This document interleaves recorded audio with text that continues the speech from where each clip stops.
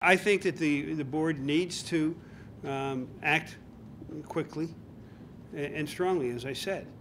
Um, The committee that they put together needs to be above reproach. Uh, The, the board has a duty to the students, to the alumni, and to the citizens of Pennsylvania. A great deal of my career has been dealt with dealing with uh, people who would victimize children, starting back when I was an assistant district attorney.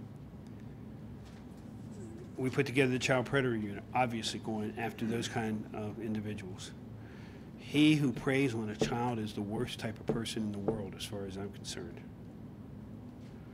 That's why I have urged the board to deal with this quickly and swiftly.